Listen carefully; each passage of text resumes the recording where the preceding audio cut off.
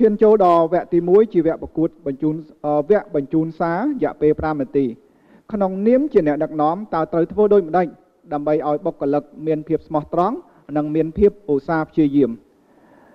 សូមអញ្ជើញបេក្ខនារីទី1ជាអ្នកចាប់ផ្ដើមមុនរយៈពេល5នាទីសូមអញ្ជើញ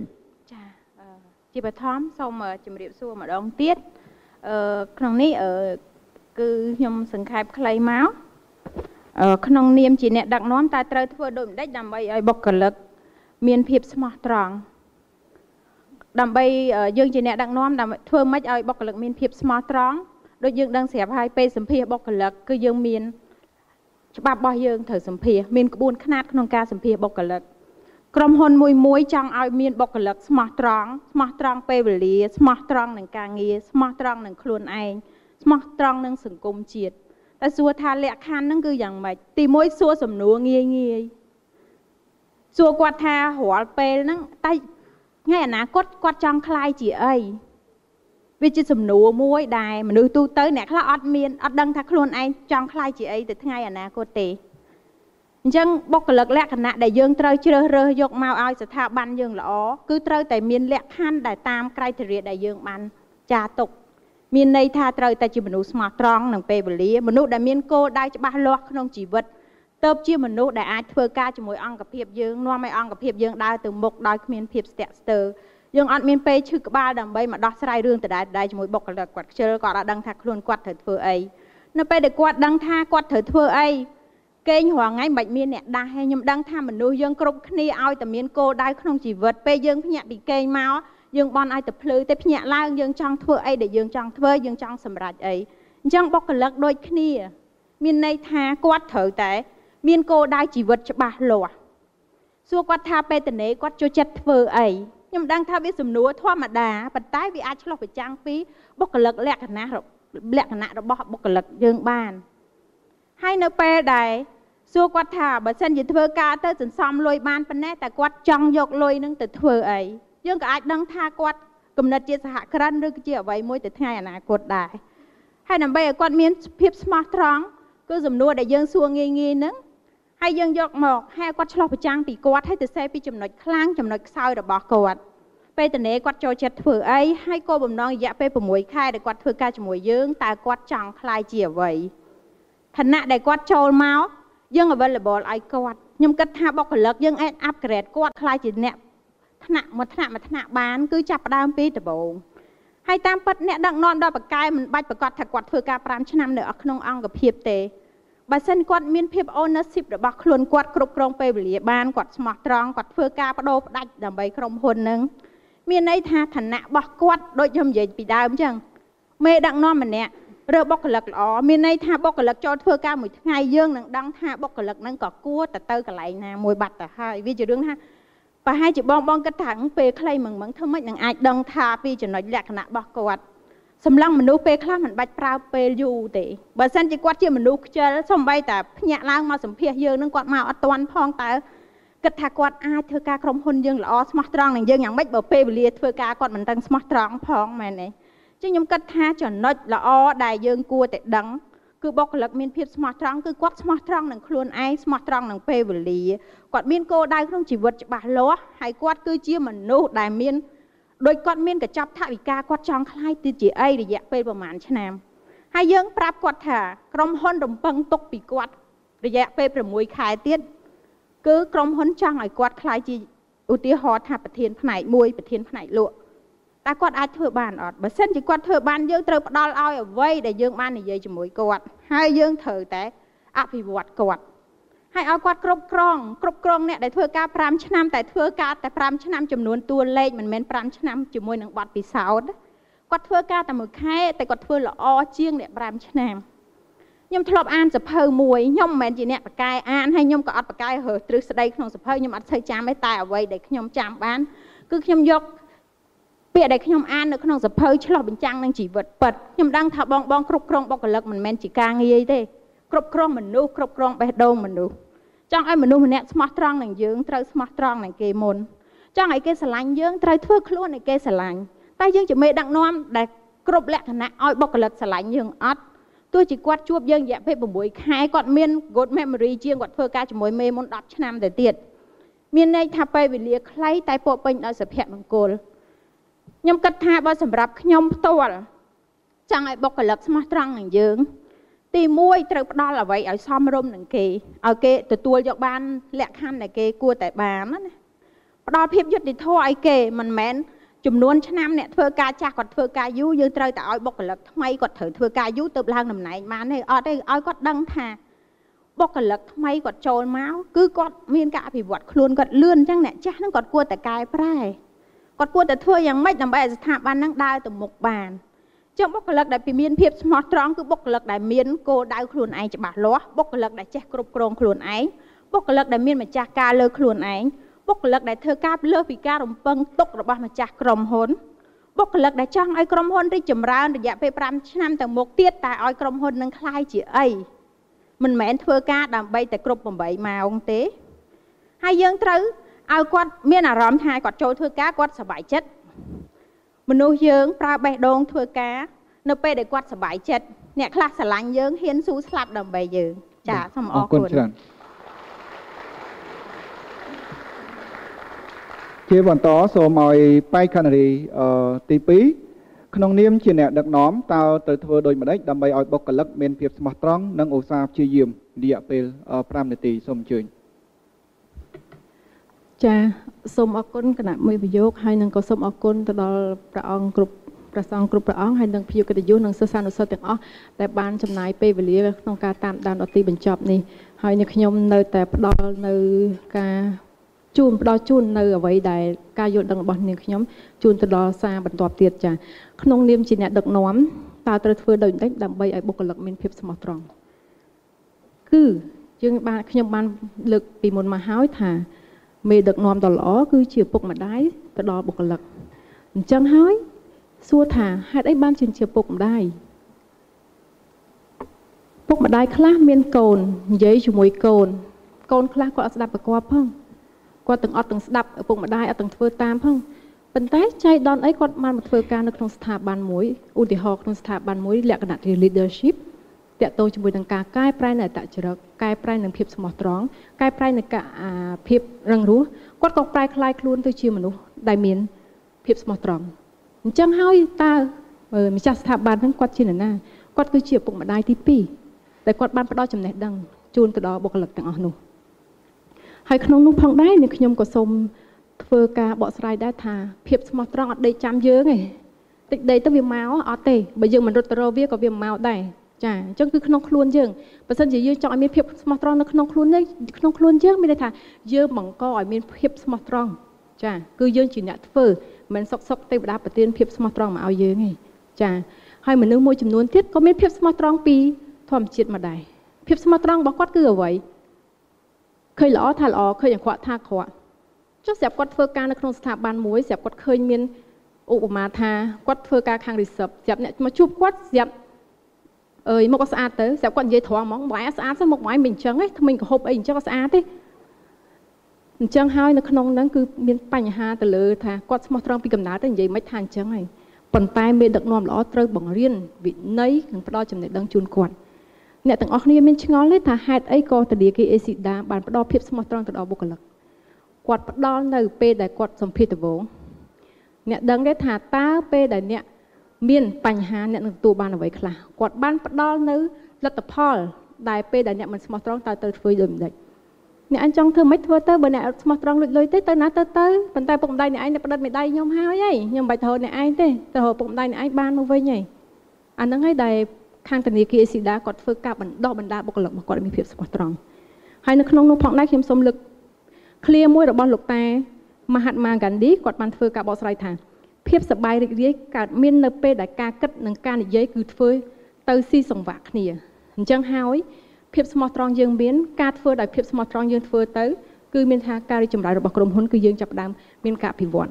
ហើយចំពោះដែលថាធ្វើយ៉ាងម៉េចឲ្យបុគ្គលិកមានភាពឧស្សាហ៍ព្យាយាមនៅក្នុងនោះខ្ញុំសូមលើក4ចំណុចដែលជាគោលសំខាន់សំខាន់ទី1គឺការផ្ដល់នៅកម្លាំងកាយ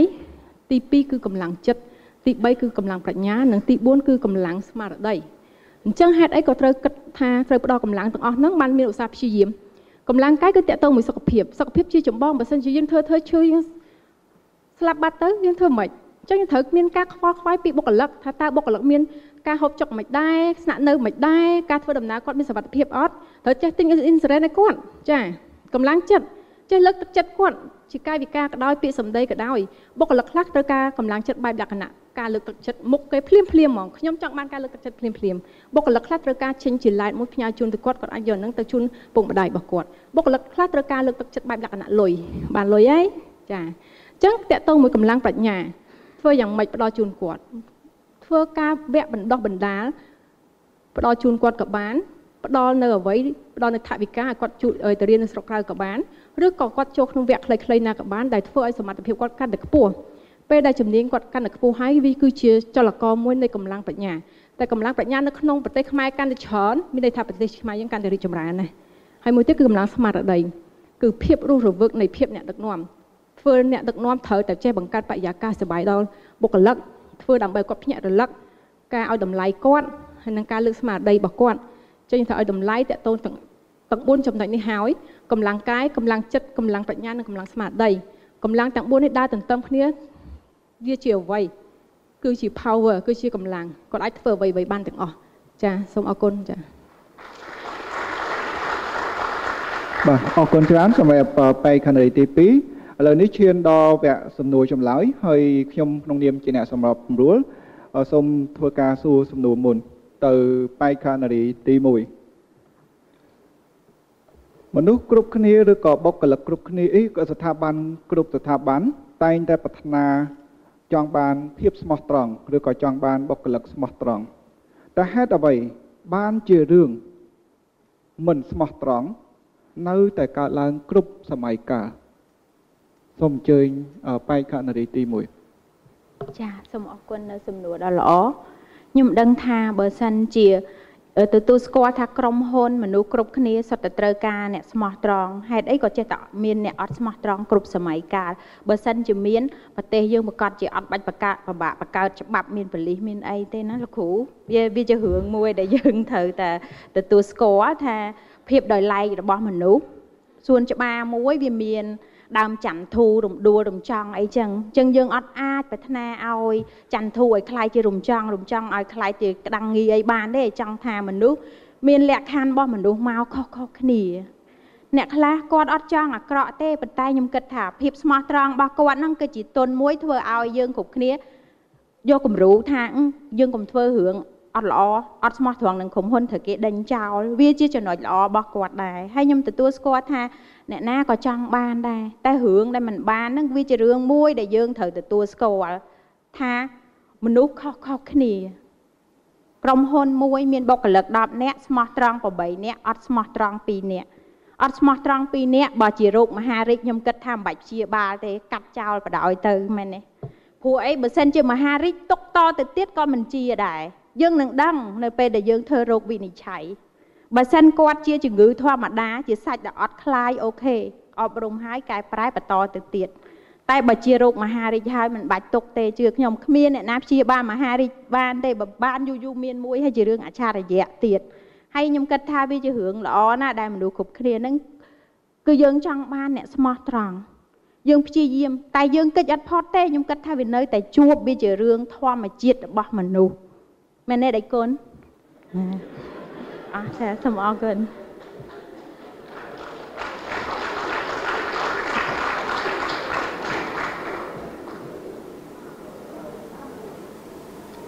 អស់ហើយអូខេអរគុណច្រើនសម្រាប់បែកខណ្ឌរីទី2ហើយទី1ឥឡូវនេះខ្ញុំសូមឈានមកសំណួរសម្រាប់បែកខណ្ឌរីទី2វិញម្ដងស្ថាប័នមួយ មានបុគ្គលិកខ្ជិល តើវាមកពីបុគ្គលិកឬក៏មកពីអ្នកដឹកនាំសូមអញ្ជើញចាសូមអរគុណសម្រាប់សំណួរនេះ ស្ថាប័នមួយ មានបុគ្គលិកខ្ជិលតើមកពីបុគ្គលិកឬមកពីស្ថាប័នមកពីអ្នកដឹកនាំឬក៏មកពីអ្នកដឹកនាំចាមកទាំងពីរចាស្ថាប័នមួយមានបុគ្គលិកខ្ជិល គឺជារឿងអតចរិតគាត់តែម្ដងគឺគាត់ចាប់ប្រកាន់មួយថាគាត់ធ្វើការគឺគាត់កម្លាំងរបស់គាត់មានតែប៉ុណ្្នឹងឯងធ្វើការធ្វើបានប្រហែលគាត់ហត់គាត់សុំសម្រាប់គាត់រវល់ប៉ុណ្ណាគាត់គិតថាធ្វើប៉ុណ្ណឹងដាក់សុំច្បាប់គេទៅគេឲ្យក៏ប៉ុណ្ណឹងទៅអញ្ចឹងក៏ចាប់ដើមមានកំណត់មួយថាគឺគាត់ចាប់ដើមគេហៅថាអត់មានវិន័យគ្រប់គ្រាន់ហើយអ្វីដែលសំខាន់ដែលធ្វើឲ្យបុគ្គលិកខ្ជិលមួយទៀតមកពីស្ថាប័នដែរនោះហេតុអីបានមកពីស្ថាប័ន ស្ថាប័នអត់មានការដាក់វិន័យអត់មានគោលការណ៍ច្បាស់លាស់ហើយក៏មិនមានការដឹកនាំដែលដឹកនាំបែបដាក់ដាក់កុំឲ្យខ្ជិលបើអ្នកដឹកនាំដឹកនាំកុំឲ្យខ្ជិលតើបុគ្គលិកខ្ជិលអត់ចាគាត់ធ្វើអ្វីក៏ដោយគឺគាត់តែងតែមើលលើគំរូអ្នកដឹកនាំបើសិនជាអ្នកដឹកនាំបានដឹកនាំគាត់ដឹកគាត់ថាធ្វើអញ្ចឹងធ្វើអញ្ចឹងអញ្ចឹងហើយគាត់ត្រូវតែបុគ្គលិកល្អគឺស្ដាប់ស្ដាប់តាមនិងធ្វើតាមអ្នកដឹកនាំអញ្ចឹងហើយស្ថាប័នមួយបើសិនជាមានវិន័យល្អ មានអ្នកដឹកនាំល្អដឹកនាំបង្ប្រែប្រួលធ្វើការប្រែប្រួលធ្វើការបណ្ដោះបណ្ដាលឲ្យយល់ពីគុណប្រយោជន៍និងគុណវិបត្តិជូនទៅដល់បុគ្គលិកថាតើពេលដែលគាត់មានការខ្ជិលខ្លាំងនៅក្នុងខ្លួនគាត់ភាពខ្ជិលរបស់គាត់ទទួលបានគុណសម្បត្តិអ្វីខ្លះហើយគុណវិបត្តិអ្វីខ្លះហើយខ្ញុំជឿថាមនុស្សម្នាក់ម្នាក់មានការខ្ជិលខុសគ្នា មានការខ្ជិលខុសគ្នា សំណួរនេះគឺចាក់ដោតមែនតើតើគាត់ខ្ជិលលើអីចាខ្ជិលលើកម្លាំង ដោយសារកម្លាំងគាត់មានប៉ុណ្ណឹងហ្នឹងអញ្ចឹងយើងជាអ្នកដឹកនាំល្អយើងត្រូវធ្វើយ៉ាងម៉េចគឺត្រូវតែពិគ្រោះជាមួយគាត់ថាហេតុអីបានជាគាត់ធ្វើបានការប៉ុណ្ណេះម៉ោងប៉ុន្តែគេធ្វើបានច្រើនម៉ោងមិនយ៉ាងធ្វើបានប៉ុណ្ណឹងម៉ោងចុះបើខ្ញុំមានកម្លាំងតែប៉ុណ្ណឹងបន្តិចធ្វើទៅហត់តិចធ្វើទៅឈឺខ្ញុំធ្វើមិនអញ្ចឹងតើកម្លាំងរបស់គាត់នឹងមកពីបញ្ហាសុខភាពរបស់គាត់ឬក៏មកពីបញ្ហាអីបើមេដឹកនាំល្អត្រូវតែដោះស្រាយជូនគាត់ធ្វើយ៉ាងម៉េចដើម្បីមានកម្លាំងនឹងកើតឡើងភាពខ្ជិលមួយទៀតមានន័យថាខ្ជិលដោយសារប្រាក់ខែមិនឡើងផងខ្ជិលខ្ជិលណាធ្វើប៉ុណ្ណាក៏បានតែប៉ុណ្្នឹងទេអញ្ចឹងយើងត្រូវបញ្យល់គាត់បើសិនជាគាត់ធ្វើការបានការងារល្អអញ្ចឹងហើយតើគាត់ទទួលលទ្ធផលអីនោះគាត់ចាប់ដើមគិតដែរបើសិនជាការខ្ជិលគាត់ចាប់ដើមកែប្រែលុយគាត់ចាប់ដើមឡើងគាត់ចាប់ដើមគិតដែរចាហើយខ្ញុំជឿថាភាពខ្ជិលហ្នឹងតែងតែអាចកែប្រែបានទាំងអស់អើយគាត់ក្នុងនោះដែរខ្ញុំក៏សូមឧទាហរណ៍ទៅដល់ព្រះដេចគុណទៀតដែរអញ្ចឹងខ្ញុំសូមកម្មាទោសដែរបើសិនជាប៉ះពាល់ខ្ញុំដឹងថាប្រសងមួយចំនួនគាត់មានការខ្ជិលបន្តិចទេ ចាសូមទោសណាកណាចាគឺខ្ជិលក្នុងការបោសសម្អាតក្នុងវិហារខ្ញុំជឿថាមានពេលដែលចូលទៅវងគឺគាត់ចាប់ដើមហើយគាត់ដឹងថាការបោសសម្អាតជារៀងរាល់ព្រឹកនឹងម៉ោងប្រមាណត្រូវធ្វើយ៉ាងម៉េចក្រោកទៀងទាត់ពេលវេលាត្រូវធ្វើឲ្យបានល្អវាបានលទ្ធផលអីបើធ្វើជាមិនបានល្អបានលទ្ធផលអីដោយសារអីបើសិនជាគាត់បោសស្អាតមកតោអើយអធិការគាត់ថាគាត់មានបានសរសើរផងមិនបាច់ធ្វើទេបោះមុំមុំដល់មកបានទេអត់ទេ អញ្ចឹងគាត់ជាអធិការគាត់មានភាពជាអ្នកដឹកនាំដោយសារអីដោយសារគាត់បានបង្កើនភាពឧស្សាហ៍ព្យាយាមលុបបំបត្តិភាពខ្ជិលច្រអូសរបស់គាត់ដាក់ commitment ខ្លួនឯងធ្វើឲ្យគាត់មានភាពប្រសើរឡើងធ្វើឲ្យគាត់ខ្លាចជាអ្នកដឹកនាំអញ្ចឹងហើយក្នុងនេះអ្នកដឹកនាំត្រូវតែមានវិធីសាស្ត្រធ្វើម៉េចដើម្បីឲ្យកែប្រែបង្រៀនភាពខ្ជិលច្រអូសរបស់គាត់មានថាទិញហ្មងទិញទិញជោគបោះចោលហ្មងហើយផ្ដល់ជូនតែភាពឧស្សាហ៍ហើយនឹងបញ្យល់ពីអត្ថប្រយោជន៍ការអាសាទទួលបានអីភាព ខ្ជិលទទួលបានអីហើយខ្ញុំក៏ជឿជាក់ថាបុគ្គលគលម្នាក់ដែលមានភាពខ្ជិល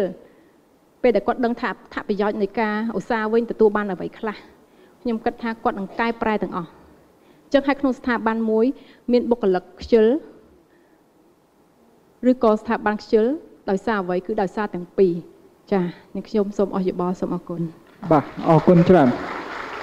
ឥឡូវនេះគឺយើងឈានដល់អ្នកចូលរួមអាចសួរសំណួរបាន មួយអ្នកមួយសំណួរហើយនឹងចុងក្រោយគណៈកម្មការអាចសួរមួយអ្នកមួយសំណួរបានដែរនមស្ការគណៈលោកម្ចាស់គ្រប់គ្រប់ព្រះអង្គចម្រើនពរដល់ញោមអឺគណៈ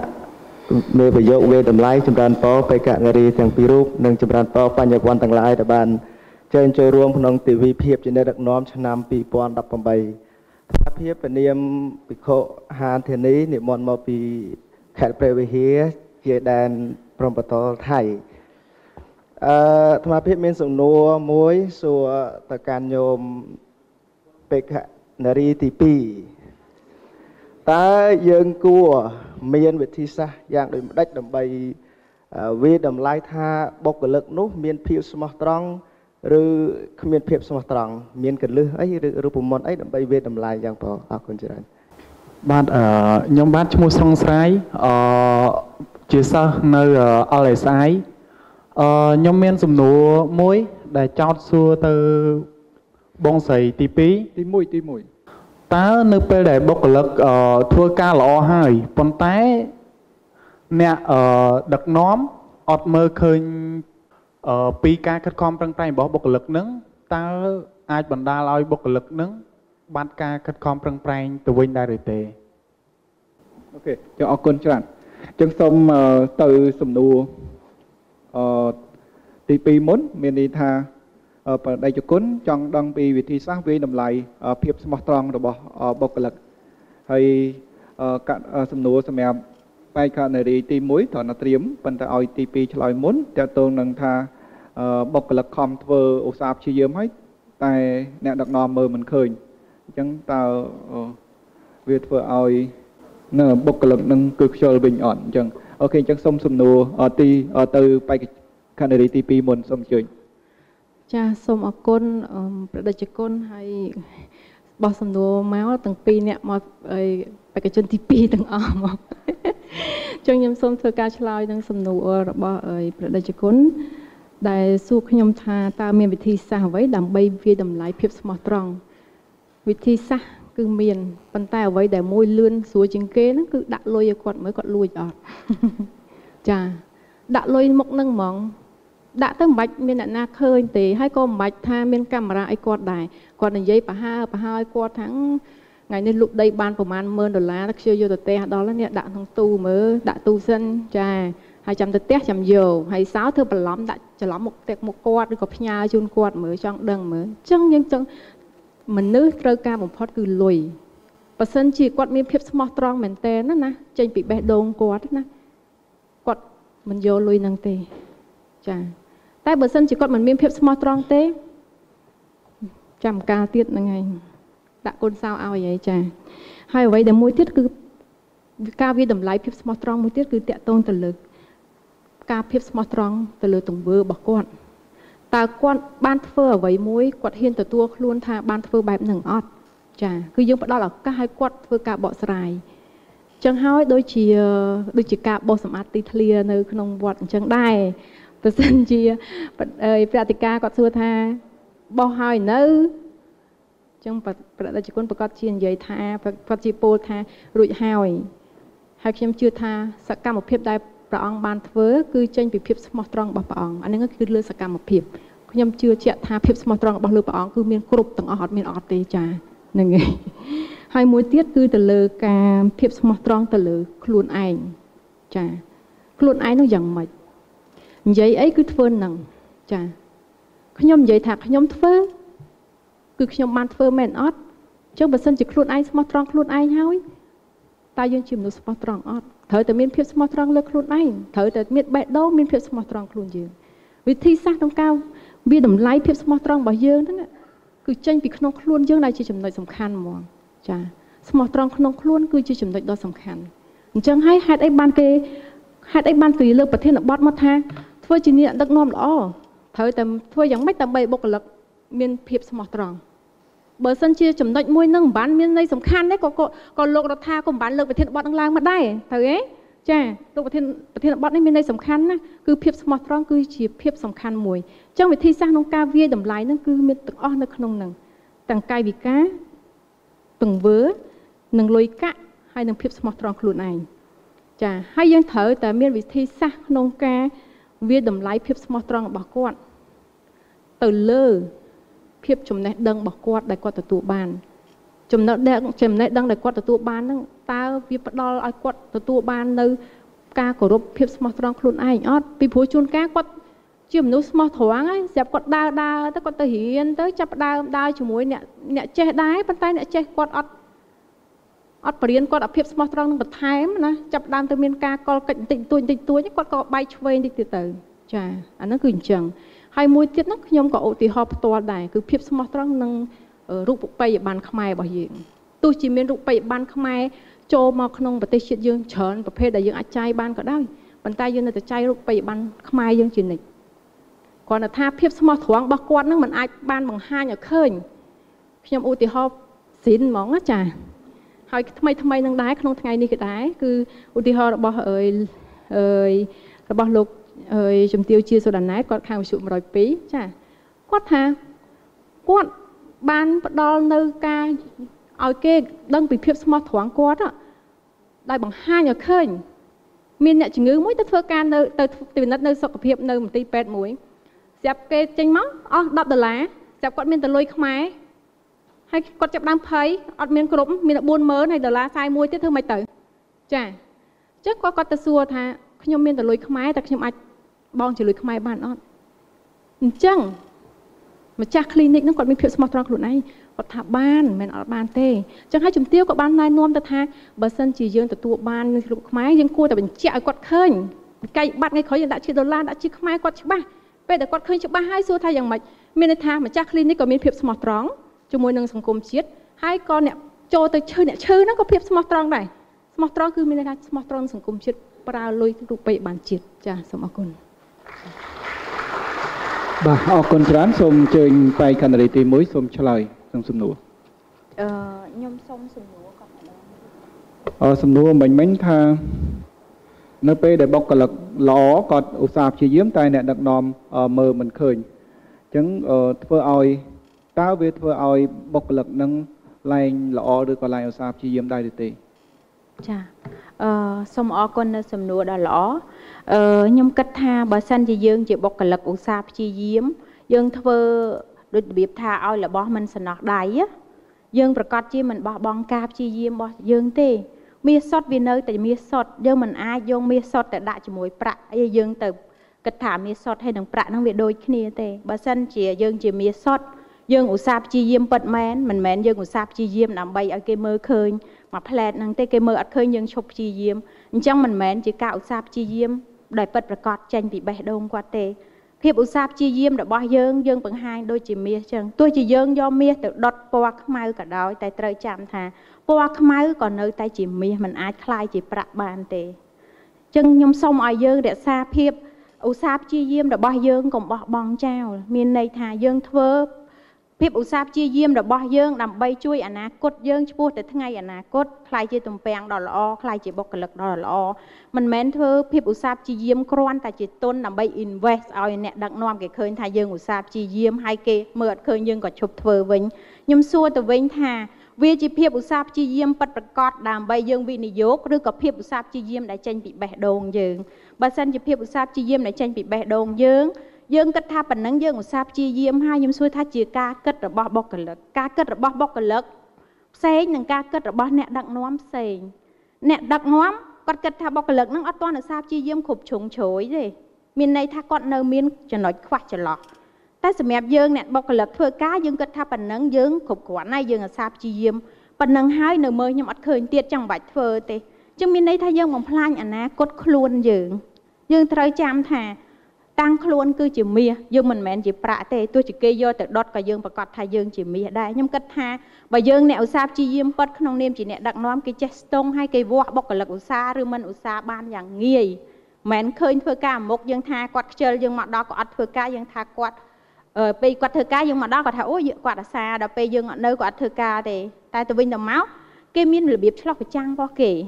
គេមានរបៀបថា follow up នឹងការងារដែលយើងធ្វើប្រចាំថ្ងៃលទ្ធផលការងារដែលយើងផ្ដល់ទៅឲ្យស្ថាប័ននោះហើយជាភាពឧស្សាហ៍ព្យាយាមពិតប្រាកដរបស់យើងហើយយើងគឺជាមាសយើងមិនមែនជាប្រាក់ទេបើសិនជាយើងជាប្រាក់មានន័យថាយើងធ្វើតែមុខគេដើម្បីឲ្យគេឃើញពីភាពល្អរបស់យើងអញ្ចឹងយើងជួយខ្លួនឯងអត់បានទេហើយវាមិនមែនជារឿងលាក់បាំងទេគឺយើងត្រូវធ្វើឲ្យសម្ដែងភាពស្មោះត្រង់និងឧស្សាហ៍ព្យាយាមខ្ញុំគិតថាបើឧស្សាហ៍ព្យាយាមពិតប្រាកដ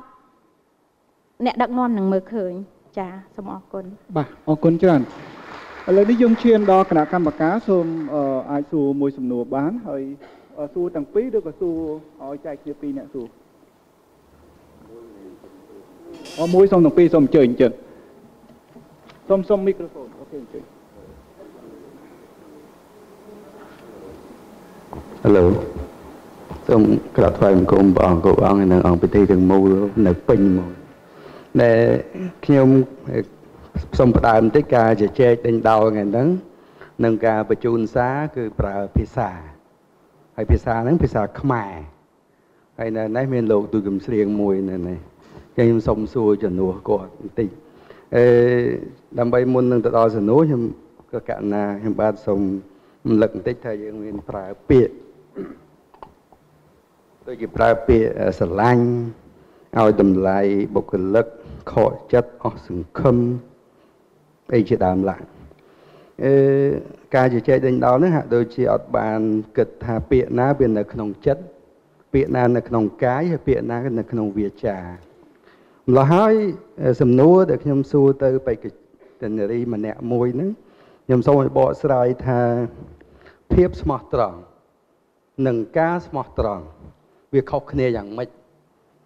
ហើយមានជំរឿខុសគ្នាយ៉ាងម៉េច សំណួរទី2ហើយមួយណាយកមួយណាក៏បានដែរមួយទៀត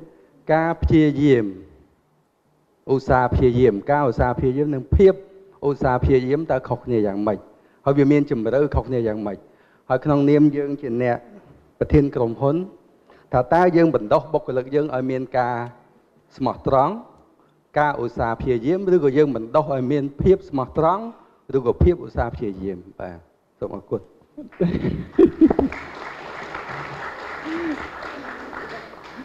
អមិនតែគណៈកម្មការត្រូវទៅឆ្លើយណាអើទៅសួរអ្នកកម្មការមិនទេសំណួរហ្នឹងតំណាងអ្នកកម្មការទេឬមួយក៏តំណាងតំណាងមកលោកជំទាវអូខេឥឡូវអឺមិនដឹងដែរបើមកដល់បកស្រាយពាក្យហើយធ្វើម៉េចយើងឈានដល់ជើងឯកអូខេប៉ុន្តែឥឡូវសុំថាម្នាក់មួយសំណួរចុះ ពាក់ព័ន្ធនឹងភាពបកស្រាយនិងភាពស្មោះត្រង់និងការស្មោះត្រង់តើវាខុសគ្នាយ៉ាងម៉េចហើយមួយទៀតតើតើនឹងភាពឧស្សាហ៍ព្យាយាមនិងការឧស្សាហ៍ព្យាយាមអញ្ចឹងពីរអ្នកសូមព្យាយាមម្នាក់មួយយល់បានបញ្យល់ពីភាពខុសគ្នារវាងភាពស្មោះត្រង់និងភាពឧស្សាហ៍ព្យាយាមបញ្យល់ពីភាពខុសគ្នារវាងភាពសំទោសច្រឡំភាពស្មោះត្រង់និងការស្មោះត្រង់ចំពោះខ្ញុំដោយសារ នេះគឺជាវគ្គចុងក្រោយហើយខ្ញុំសូមបញ្ចេញក្បាច់គុណអស់ហ្មងចាហើយខ្ញុំមិនដឹងថាក្បាច់គុណនឹងវាយត្រូវចំណុចអត់ទេចាប៉ុន្តែនេះគឺជាការយល់ដឹងរបស់ខ្ញុំក្នុងការស្មោះត្រង់និងភាពស្មោះត្រង់ការឧស្សាហ៍ព្យាយាមនិងភាពព្យាយាមខ្ញុំសូមឲ្យគណៈកម្មការ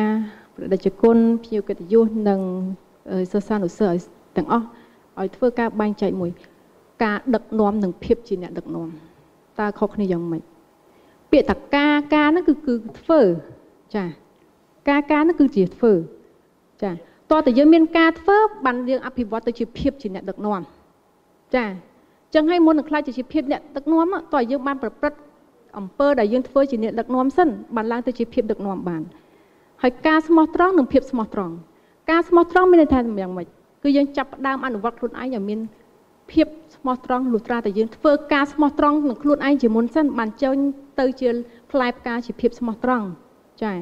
ហើយការឧស្សាហ៍ព្យាយាមនិងភាពឧស្សាហ៍ព្យាយាម ការឧស្សាហ៍ព្យាយាមមានថាធ្វើតែម្ដងធ្វើឲ្យឃើញតែឧស្សាហ៍ព្យាយាមហ្មង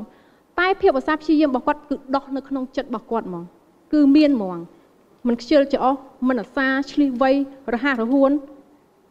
មិនចាំធ្វើទៀតទេចាប់ដើមមានភាពនឹងដោះនៅក្នុងខ្លួនហើយ ឧទាហរណ៍ជាក់ស្ដែងមិនអួតខ្លួនឯងទេមានថាភាពរហ័សរហួនរបស់ខ្ញុំមានភាពរហ័សរហួនមិនការធ្វើរហ័សរហួនទេគ្រាន់តែបងសុខាក៏ភ្លេងទូរស័ព្ទខ្ញុំដឹងថាហ្នឹងរបស់គាត់ខ្ញុំយកទៅឲ្យគាត់ភ្លាមហ្មងចាមានថាភាពបណ្ដោះនៅក្នុងខ្លួនហ្នឹងចាប់ដើមមាន ចាអញ្ចឹងក្នុងអត្តន័យពីរនេះខ្ញុំធ្វើការបកស្រាយជូនគឺមានថាមួយគឺការធ្វើធ្វើឲ្យបានអភិវឌ្ឍទៅជាភាពជាបណ្ដោះមួយគឺជាកញ្ចុំមួយដែលធ្វើឲ្យជាកោសិកាមួយ កោសិកានិមួយនិមួយនិមួយចូលមកក្នុងខ្លួនយើងបញ្ចេញបានទៅជាភាពជាការស្មោះត្រង់ភាពឧស្សាហ៍ព្យាយាមចាអញ្ចឹងហើយក្នុងនេះខ្ញុំសូមបន្ថែមដែរមនុស្សម្នាក់អ្នកគាត់គាត់តែងតែប្រាថ្នាចង់បានភាពព្យាយាមនិងភាពស្មោះត្រង់របស់គាត់ឲ្យមានតែម្ដងដើម្បីអីគឺជាវាដោះមកភ្លាម reflexible ភ្លាមហ្មងណាចាគាត់តែឃើញលុយគេភ្លាមលុយគេភ្លេចចាប់ផ្ដើមយកទៅឲ្យគេភ្លាមកណាហើយសំបីតែថាភាពស្មោះត្រង់របស់លោកតាគឺមានថាដកមកក្រោកមកបោះប្រោយ កណាមិនបាច់មិនបាច់ប្រដេជគុណហៅដាក់ម៉ោងរោអីទេកណាចាប់ដើមភាពស្មោះត្រង់របស់គាត់ភាពព្យាយាមរបស់គាត់ចាប់ដើមដោះគឺការធ្វើដដែលដដែលនៃការធ្វើភាពស្មោះត្រង់ការធ្វើភាពព្យាយាមការធ្វើដដែលដដែលខ្លាចទៅជាគំរូមួយខ្លាចជាអំពើមួយខ្លាចជាកោសិកាមួយបណ្ដុំជាភាពតែម្ដងចាសូមអរគុណចាបាទអរគុណច្រើនអសូមអញ្ជើញបេក្ខនារីទី1សូមអញ្ជើញចាវគ្គចុងក្រោយនេះរៀងខ្លាំងតិចព្រោះអីនិយាយត្រង់ទៅ អសរខ្មែរមកដល់ឥឡូវហ្នឹងមិនជាប្រកែប្រមាណទេវាយូរហើយណាដឹកនាំទៅក៏មិនបានចាំមករឿងវិជ្ជករអីណាហ្នឹងពាក់ព័ន្ធដែរក៏សូមអរគុណច្រើននេះជាការយល់ដឹងរបស់នាងខ្ញុំទេបើខុសទោះអីខ្ញុំគិតថាគណៈកម្មការអាចជួយបំពេញពីព្រោះអីគ្មានអ្នកណាល្អគ្រប់10ទេចាហើយជាពិសេសទៅទៀតបើសិនជាចង់ដឹងថានឹងវាខុសគ្នាយ៉ាងម៉េចសូមងាកទៅបែរទៅខាងនោះភាពខ្ជះខ្ជាយដ៏ធំបំផុតនៅប្រទេស តែមួយឬស្ថាប័នមួយ គឺជាការបរាជ័យមានន័យថាបើតាមគំនិតខ្ញុំ មានន័យថាភាពនឹងវាកើតមុនការដោយសារក្នុងនេះទៅសេនេះនេះជាការយល់ដឹងរបស់ខ្ញុំទេប៉ុន្តែ100%ថាខ្ញុំត្រូវតែម្ដងហ្នឹងខ្ញុំខ្ញុំក៏អត់ផ្ដាច់ហឹង្សាថាបែបហ្នឹងដែរហើយខ្ញុំខ្ញុំខ្ញុំ ក៏សូមអរគុណនៅសំណួរដ៏ល្អដែរពីព្រោះអីវាអាចធ្វើឲ្យខ្ញុំត្រូវទៅរៀនអក្សរសាស្ត្រខ្មែរយើងឡើងវិញដែរណាលោកគ្រូចាហើយមួយវិញទៀតចម្លើយហ្នឹងវាមាននៅជុំវិញខ្លួនយើងទាំងអស់គ្រាន់តែបងបងហ្នឹងសម្លឹងមើលទៅឃើញចម្លើយហើយមិនបាច់ខ្ញុំឲ្យទេខ្ញុំគ្រាន់តែដឹងថាភាពកើតមុនការតែមួយណាកើតមុនកើតក្រោយអីវាជារឿងល្អទាំងអស់ព្រោះ ភាពស្មោះត្រង់នឹងការស្មោះត្រង់ភាពឧស្សាហ៍ព្យាយាមនឹងការឧស្សាហ៍ព្យាយាមកាលណាយើងមានភាពស្មោះត្រង់យើងនឹងមានការស្មោះត្រង់ហើយយើងមានភាពឧស្សាហ៍ព្យាយាមយើងនឹងព្យាយាមហើយមានន័យថាវាកើតចេញមកពីឆន្ទៈនឹងការខំប្រឹងប្រែងរបស់យើងហើយខ្ញុំគិតថាក្នុងអ្នកដឹកនាំម្នាក់មិនចាំបាច់ដល់ល្អ perfect ទេ មានន័យថាព្រមរៀននៅកំហុសដែលយើងខ្វះខាតហើយនៅពេលនេះខ្ញុំក៏មិនមែនជាអ្នក បកកែអសរសាស្ត្រអីដែរខ្ញុំដូចជាបងបងអញ្ចឹងគ្រាន់តែជាស្ត្រីមេផ្ទះម្នាក់អាចមើលគ្រួសារសាមញ្ញមួយបានហើយក៏គ្រប់គ្រងស្ថាប័នដ៏តូចមួយហើយក្រោយមកទៀតខ្ញុំក៏ឡើងប្រកួតនៅនេះតែប៉ុណ្្នឹងឯងហើយខ្ញុំគិតថាវាជាចម្លើយមួយដែលគណៈកម្មការគាត់នឹងឲ្យជាអនុសាសន៍ហើយក៏សូមអរគុណច្រើននៅសំណួរដ៏ល្អនៅក្នុងថ្ងៃនេះហើយខ្ញុំក៏រៀនបានច្រើនដែរពីរឿងហ្នឹងដែរចាសូមអរគុណ អូខេអរគុណច្រើនសម្រាប់បេក្ខនារីទាំងពីរឥឡូវនេះឈានដល់ក្បាច់គុណចុងក្រោយដែរអឺសូម3នាទី ដើម្បីសរុបអឺបញ្ចប់ក្នុងនាមជាអ្នកដឹកនាំតើត្រូវធ្វើដូចម្តេចដើម្បីឲ្យបុគ្គលិកស្មោះត្រង់និងឧស្សាហ៍ព្យាយាមអឺសូមឲ្យចាប់ផ្ដើមពីអូខេបេក្ខនារីទី1មុនសូមអញ្ជើញ ចាសូមអរគុណច្រើនដូចខ្ញុំបានរៀបរាប់ខាងដើមមកអញ្ចឹងតើក្នុងនាមយើងជាអ្នកដឹកនាំម្នាក់តើយើងត្រូវធ្វើយ៉ាងម៉េចឲ្យបុគ្គលិកមានភាពស្មោះត្រង់និងឧស្សាហ៍ព្យាយាម គឺមានន័យថាយើងត្រូវតែសិក្សាពីគាត់បដោះគំនិតរបស់គាត់ធម្មតាទេអត់មានអ្នកណាកើតមកល្អគ្រប់ដល់ពេលពេលខ្លះគាត់អ្នកណាក៏ធ្លាប់មានកំហុស ប៉ុន្តែបើសិនជាកំហុសលើកទី1គាត់កែមានន័យថាគាត់ព្រមកែអ្វីដែលគាត់ខុសហើយគឺយើងព្រមផ្ដល់ឱកាសឲ្យគាត់ហើយភាពស្មោះត្រង់វាកើតមានឡើងគ្រប់ទីកន្លែងខ្ញុំគិតថាមនុស្សយើងត្រូវតែមានភាពផ្លាស់ប្ដូរនៅពេលដែលយើងមានភាពស្មោះត្រង់នឹងខ្លួនឯងស្មោះត្រង់នឹងអ្នកដទៃស្មោះត្រង់នឹងស្ថាប័នយើងនឹងក្លាយជាបុគ្គលិកល្អហើយបុគ្គលិកនៅក្រោមស្ថាប័ននៅក្រោមបង្គាប់របស់យើងគេអត់ចូលចិត្ត ស្ដាប់យើងនិយាយថាអូអ្នកឯងត្រូវតែធ្វើជាបុគ្គលិកល្អអ្នកឯងត្រូវតែធ្វើជាអ្នកស្មោះត្រង់អ្នកឯងត្រូវតែមានភាពស្មោះត្រង់តែគេនឹងមើលយើងថាយើងជាអ្នកដឹកនាំដែលមានភាពស្មោះត្រង់និងការស្មោះត្រង់នឹងដល់កម្រិតណាដើម្បីឲ្យគេយកតម្រាប់តាមហើយនឹងការឧស្សាហ៍ព្យាយាមរបស់យើងប្រចាំថ្ងៃតែយើងជាជាអ្នកដឹកនាំដែលមានភាពទៀងទាត់ដែរឬអត់អ្នកដឹកនាំដែលមានភាពឧស្សាហ៍ព្យាយាមគឺអ្នកដឹកនាំដែលទៀងទាត់មានន័យថារាល់ថ្ងៃគាត់ ទៅក្រុមហ៊ុនម៉ោង7មុនបុគ្គលិករាល់ថ្ងៃគឺគាត់ទៀងទាត់មែនតើហើយគាត់បដិញ្ញាថាគាត់ធ្វើអីឲ្យបាននៅថ្ងៃហ្នឹងគាត់នឹងធ្វើមានន័យថាយើងធ្វើថ្ងៃនេះឲ្យល្អជាងថ្ងៃម្សិលមិញហើយថ្ងៃស្អែកនឹងធ្វើរឿងនេះឲ្យល្អជាងថ្ងៃនេះវាជារឿងមួយដែលខ្ញុំមានកំណត់នេះនៅក្នុងចិត្តខ្ញុំជានិច្ចប៉ុន្តែមិនមែនមានន័យថាខ្ញុំជាមនុស្សដែលល្អ perfect អស់តអីទេខ្ញុំជាសាមញ្ញជនដូចបងបងអញ្ចឹងតែគ្រាន់តែខ្ញុំមានឆន្ទៈហើយខ្ញុំប្រាប់បុគ្គលិកខ្ញុំថា យើងត្រូវមានភាពស្មោះត្រង់នឹងក្រុមហ៊ុនមិនថាអូននៅទីនេះបើអូនចេញទៅក្រៅអូនទៅស្ថាប័នណាក៏គេទទួលយើងដែរភាពស្មោះត្រង់គឺជាទុនទុនមួយដ៏ល្អហើយវាជាទ្រព្យមួយដែលជាប់ខ្លួនយើងដែលធ្វើឲ្យគេភ្លេចយើងអត់បានពីភាពស្មោះត្រង់ហើយនៅពេលដែលយើងមានភាពស្មោះត្រង់បូកនឹងភាពឧស្សាហ៍ព្យាយាមការឧស្សាហ៍ព្យាយាមទៀតខ្ញុំយល់ថាបុគ្គលិកនោះនឹងមានភាពជោគជ័យហើយប្រទេសយើងក៏ត្រូវការក្រុមហ៊ុនណាក៏គេត្រូវការដែរហើយ គ្រួសារណាក៏ត្រូវការដែរមានអ្នកណាចង់បានប្តីក្បត់ចិត្តទេប្តីស្មោះត្រង់ស្រឡាញ់ដូចតែគ្នាហ្នឹងមែនទេ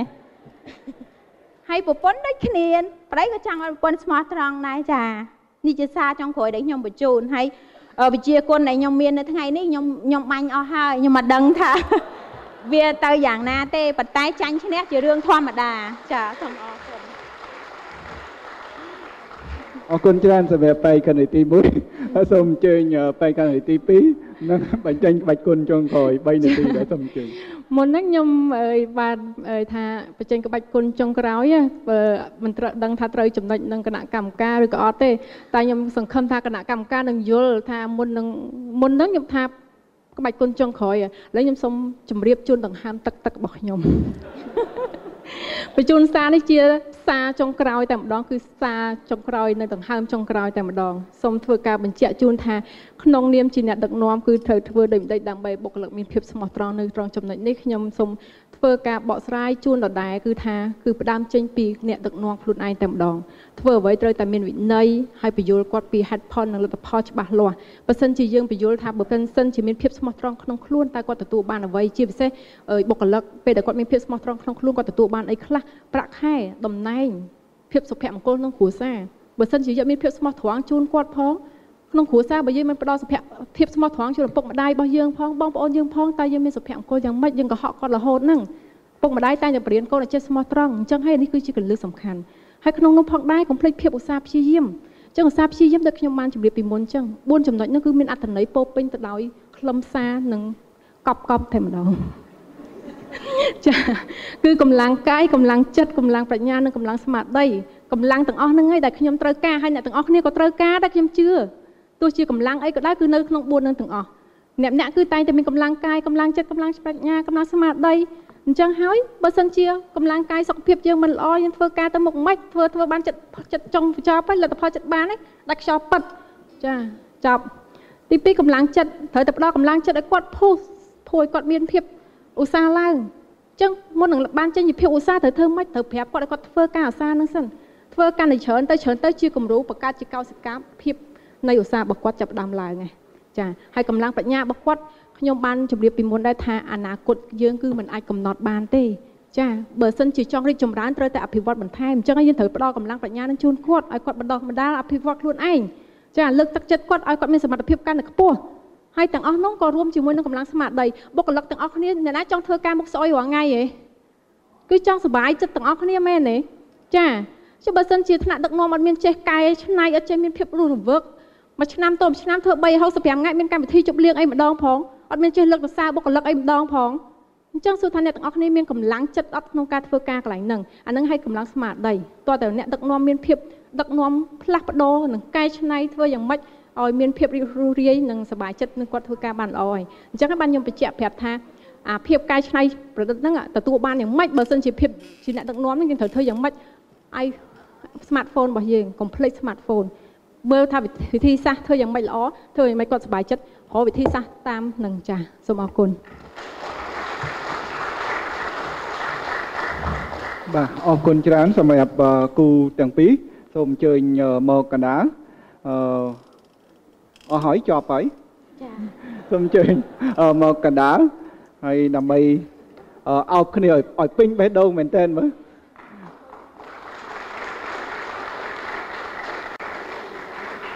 អូខេអឺឈប់នៅទីនឹងតែម្ដងហើយសូមឲ្យអញ្ជើញអឺប្រធានគណៈធិបតីបន្ទាប់ពីធ្វើការប្រកួតដ៏ស្វិតស្វាញតាំងពីម៉ោង1រហូតសឹងតែដល់ម៉ោង9យប់យើងក៏បានរកឃើញជ័យជំនះស្ត្រីដែលនឹងត្រូវប្រកួតជាមួយជ័យចំណានបរោះថ្ងៃស្អែកនិងទៅប្រកួតជាមួយនឹងជើងឯកនៅថ្ងៃខាងស្អែក ការប្រឹងប្រែងពេញមួយថ្ងៃឈ្នះឬចាញ់គឺជារឿងធម្មតាឈ្នះយើងបន្តចាញ់យើងរៀនបបពិសោធន៍ហើយដូច្នេះសូមចូលរួមអបអរសាទរដល់លោកស្រីពៀនសុខា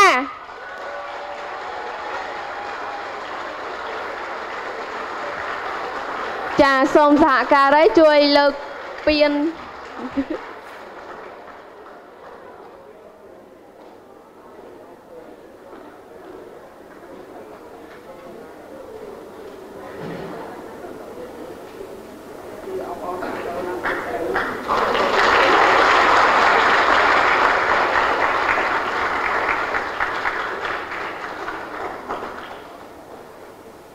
សូមអានសៀវភៅភាពជាអ្នកមានកម្ពុជាសៀវភៅសម្រាប់មនុស្សគ្រប់គ្នានិងគ្រប់គ្រួសារ